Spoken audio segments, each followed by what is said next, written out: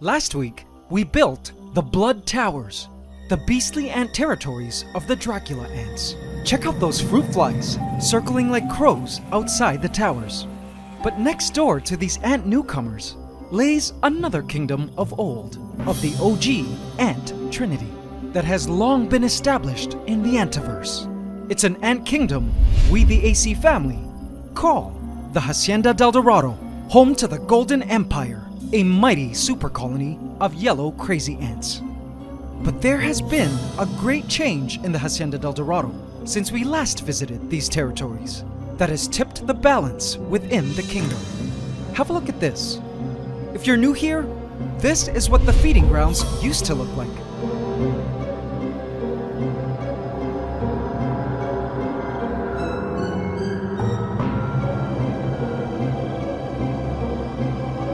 Today, the crowds of Golden Empire ants have been reduced to only a few, seen rummaging through the debris. But what has happened to the once glorious Golden Empire? Well, AC family, what you're seeing here is a great transition that all the inhabitants of the Hacienda del Dorado are undergoing as a result of a single kingdom shaking event the disappearance of an emperor and the entrance of a dragon. Ladies and gentlemen, welcome to the Ants Canada Ant Channel.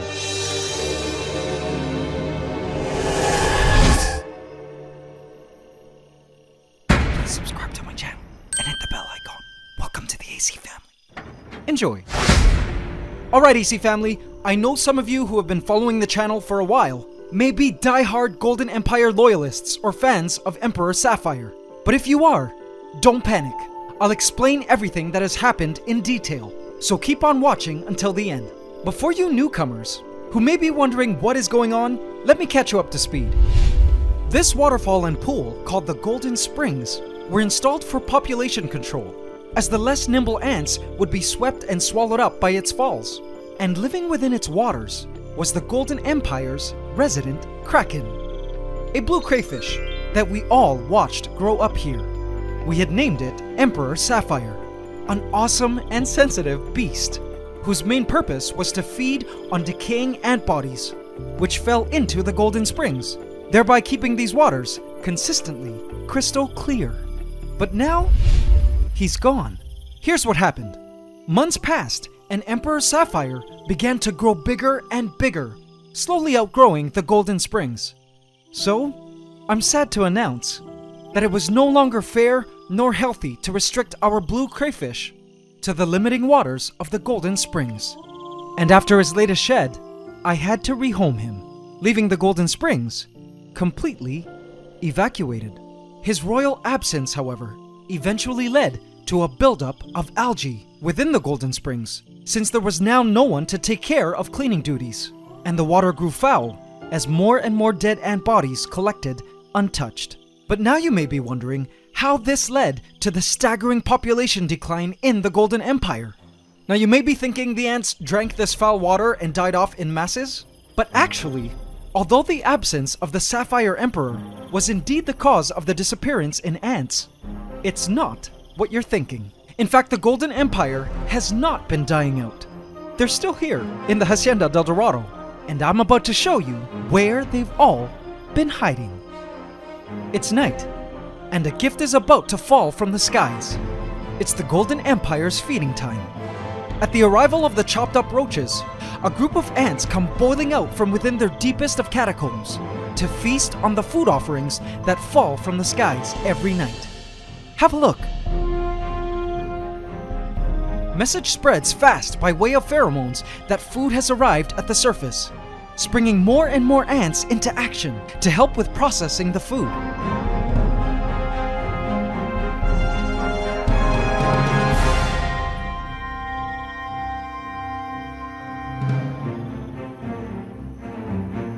More squadrons of ants appear on the scene to carry these massive pieces of fresh roach meat. Look at them cooperating and carrying the roach pieces from all sides as they pull and plan their operations of food transport.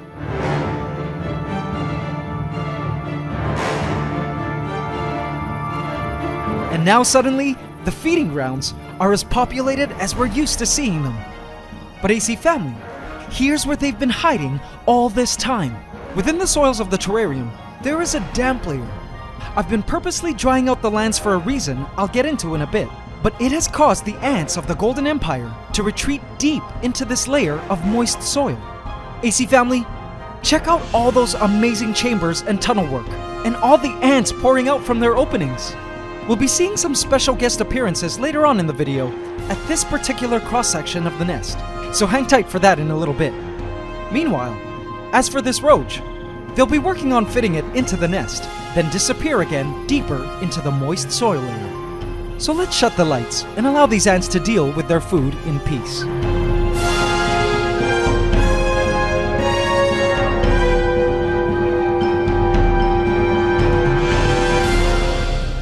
Now, I'm sure many of you may be glad to know the Golden Empire is okay and healthy as usual.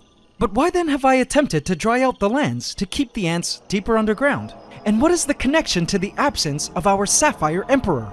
Well, now that the Golden Springs were empty and kind of festering, I had some major renovation plans in mind in order to make these waters great again and set the stage for the reception of our Sapphire Emperor's replacement. That's right, we needed a new cleaner beast for the Golden Springs. So, I needed the ants to stay out of my way as much as possible while this project was in operation. But boy, AC family, did I have some epic plans for these Golden Springs. A new beast was coming to the Antiverse AC family, and it was unlike anything I've ever kept before. The next evening, when the ants were sparse and retreated out of the way, I went straight to work as quickly as possible, so to not alarm the ants before they came boiling out to defend their kingdom from the giant divine hands descending from the skies. Though these ants don't sting, they are quick to swarm and can spray formic acid into bites they inflict, which cause irritation and lots of escaped ants using my body as a bridge. I disconnected the filter and began to scoop away at the soil. All this substrate needed to go. The beast that would be moving in here would need more room than the Golden Springs was currently offering. Next, I needed to replace the substrate with a layer of black sand. I chose the sand so that our new beast would show up nicely against it. And AC family. after several hours of work and renovations, behold, I'm pleased to present to you the new Hacienda Del Dorado. Now before I get to the newly restored and improved Golden Springs, let me show you the awesome changes I made to the lands. The new territories look absolutely gorgeous. I couldn't look away. It was calming to the eyes. Don't you guys think? I've planted groupings of arrowhead plants, Syngonium podophyllum, and a cute smaller species, which may or may not be creeping wire vine, Muhlenbeckia axillaris. I find these plants accent our creeping fig ficus at the back there quite nicely. Another quick thing I wanted to show you guys were these newcomers. These ferns, which I actually didn't plant, sprouted out of nowhere, growing epiphytically without soil with our bromeliads. Pretty neat that they sort of planted themselves, and it's beyond me how they got there.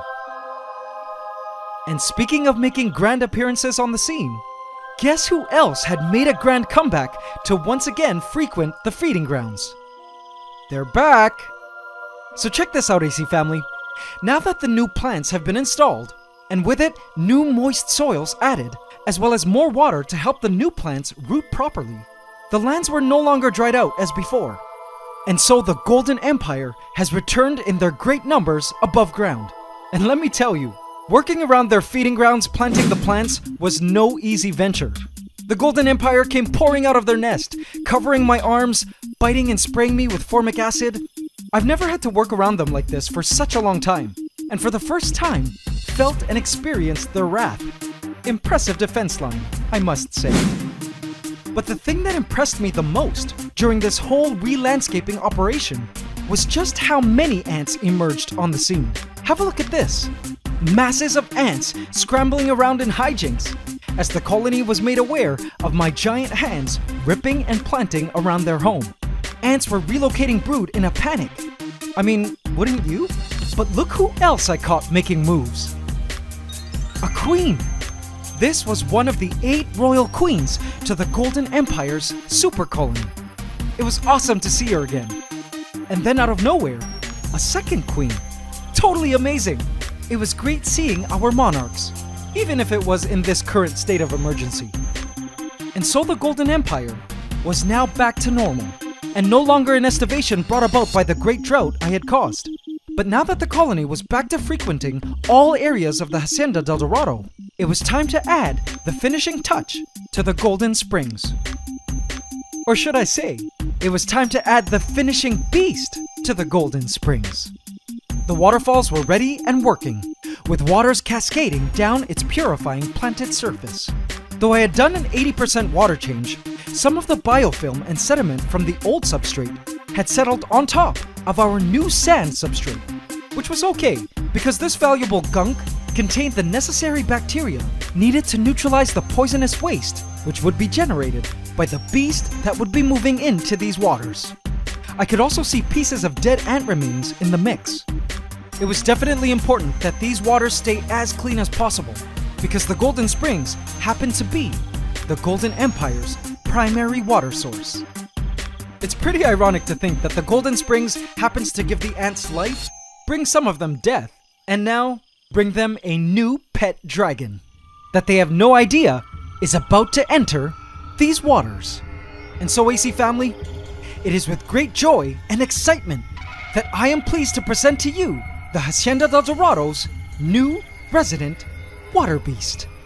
Behold, our brand new white aqua dragon, aka an axolotl, scientifically known as Ambystoma mexicanum. Now, if this is your first time seeing an axolotl, I'm sure you may think its appearance is as strange as its name, but let me assure you, these creatures are incredible. Although they are commonly known as Mexican walking fish, these creatures are not actually fish at all. They're amphibians, closely related to tiger salamanders.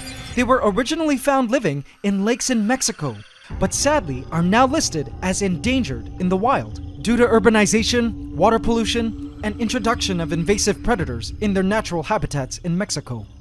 Luckily, today, they are widely bred within the captive pet trade, and this makes our aqua dragon extra special. Check out those external gills though, and all the blood vessels extending to the surface to absorb oxygen and expel carbon dioxide. They are basically the inverted version of our lungs. Super neat, right? This poor axolotl seems to be sustaining an injury on its tail, which it must have gotten from a tank mate biting it. Now these animals are carnivorous, consuming small prey such as worms, insects, and small fish in the wild. So I had to test and see if it had a taste for yellow crazy ants. So I placed in a dead ant, and it took a quick swipe, but hilariously missed. Oh well, let's hope it gets better at aiming.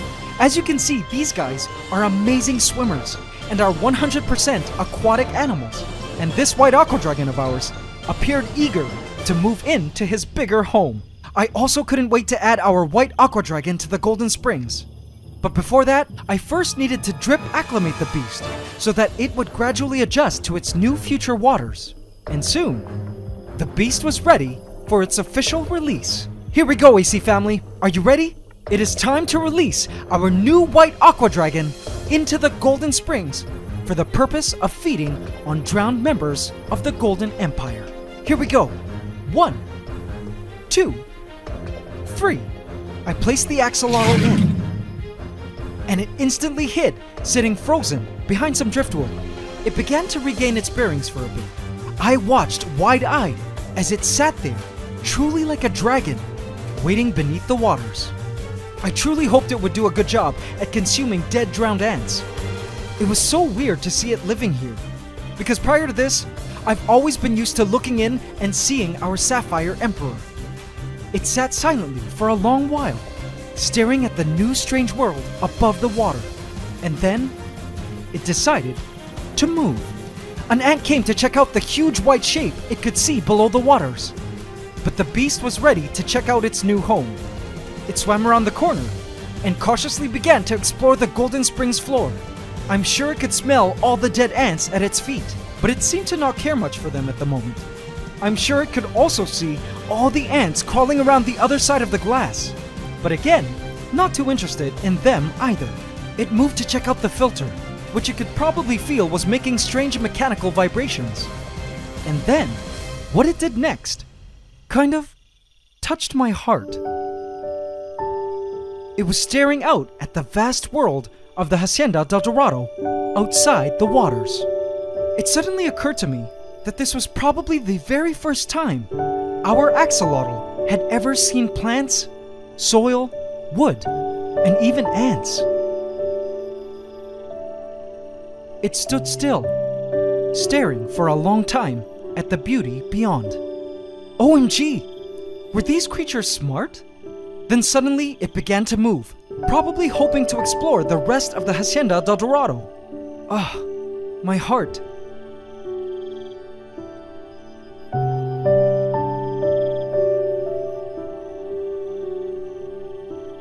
It eventually turned around and began to continue mapping the edges of its watery domain.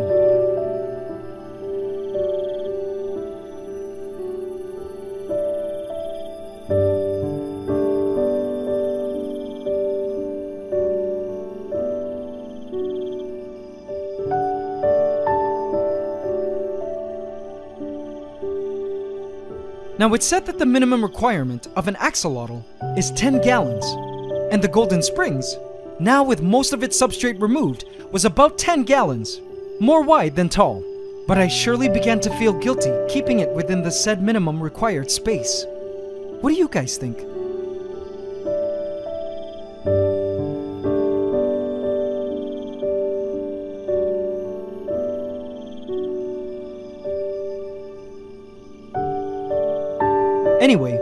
Continued to look around at the world beyond the Golden Springs pool.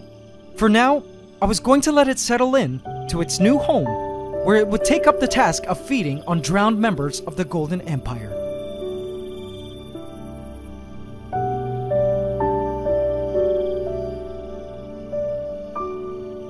I watched for one last moment as it retreated towards the back to retire for sleep.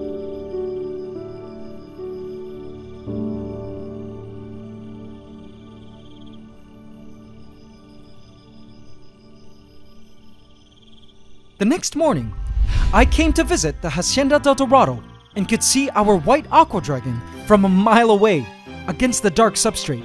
And strangely, I believe it also saw me coming. It turned to face me as soon as I walked through the door. Ugh, my heart.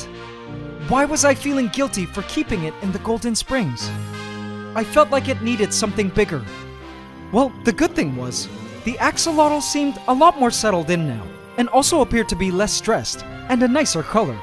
Also, the water had cleared up quite nicely, the black sands now visible, with all that biofilm from the night before probably settled in our filter, and crevices within the waterscape to do its job at neutralizing our axolotl's waste. Now get this, AC family. Another great thing I noticed was its tail had healed nicely overnight. This is actually one of the most amazing features about axolotls. They're super healers. Surprisingly, axolotls don't heal by scarring, but are capable of regenerating entire lost appendages in a period of months. And, in certain cases, more vital structures, like parts of their brains. Isn't that amazing? They also can readily accept transplants from other individuals, including eyes and parts of the brain, restoring these alien organs to full functionality. It's pretty mind blowing if you think about it. Now, as I watched the axolotl pace around its living space, I wondered if it was perhaps hungry. It was hard to tell if it was eating ants or if it simply didn't have a taste for them. There were no more dead ant bodies along the floor. So could that mean it could have eaten them overnight? But just in case our white aqua dragon was hungry, I decided to give it a housewarming gift anyway. As is our AC tradition, here I had some thawed frozen bloodworms, an apparent axolotl favorite. I dropped some into the Golden Springs, and the bloodworms fell straight to the bottom.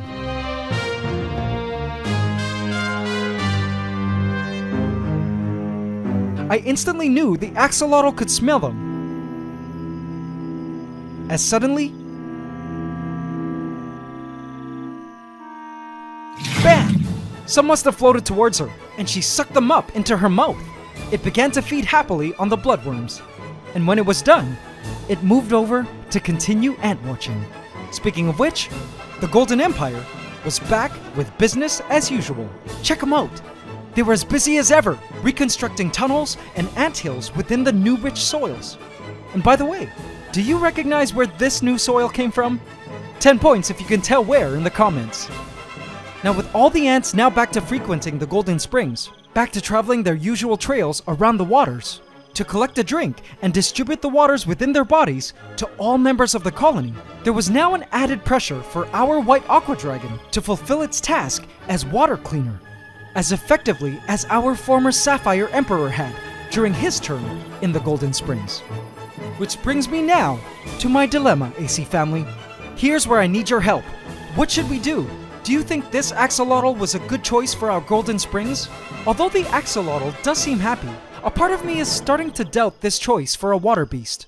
Because even if the Golden Springs are the alleged minimum required space, I still get the sense this area is too small. Plus, I have yet to actually see if it is eating the dead ants. To be fair, it's only been a few days, and I plan on keeping a good eye on our white aqua dragon here, feeding it bloodworms daily. But I'd love to know what you guys think. Should we rehome this axolotl and place it with perhaps another crayfish?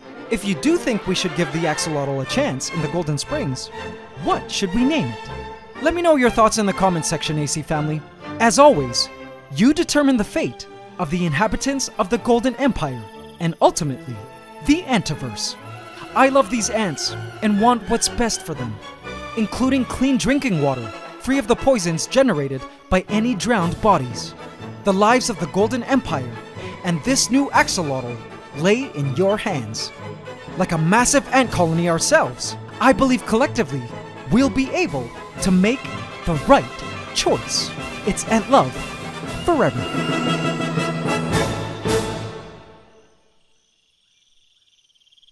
Alrighty, C family, did you enjoy this week's episode? What do you guys think? Will this axolotl be a passing guest in the Antiverse? Or should we keep it? I will be sure to update you on how the axolotl is doing in a future video. So hit the subscribe button and bell icon now so you can keep updated on the happenings of the Hacienda del Dorado and other ant kingdoms. And hit the like button every single time, including now. If you're new to the channel and want to catch up on all your Ants Canada lore, feel free to binge watch this complete storyline playlist here, which traces the origins of all the ant colonies of the Ant Room, so you can follow their stories and better appreciate how these ant kingdoms came to be and why we love them so much. AC Inner Colony, I have left a hidden cookie for you here if you would just like to watch extended play footage of our new axolotl in the Golden Springs. Talk about a cute, gentle giant. And before we proceed to the AC question of the week, I'd like to plug my daily vlogging channel, Daily Vlogs, which have become a full out bird dad channel, as I am now raising a baby African grey parrot. If you love birds, I'd love for you to meet my new cute little bird. Hope you can subscribe when you're there. And now it's time for the AC question of the week. Last week we asked, name one reason why having a large colony is advantageous in the ant world. Congratulations to Smunstu Stinky Monster, who correctly answered, with a larger colony, the workers are much more efficient at their various tasks, like foraging, keeping the nest clean, and feeding the young. Congratulations, Smunstu Stinky Monster, you just won a free ebook handbook from our shop. In this week's AC question of the week, we ask, what neat special ability does the axolotl possess? Leave your answer in the comment section, and you could also win a free ebook handbook from our shop. Hope you can subscribe to the channel as we upload every Saturday at 8 a.m. Eastern Standard Time. Please remember to like, comment, share, and subscribe if you enjoyed this video to help us keep making more. It's Ant Love forever.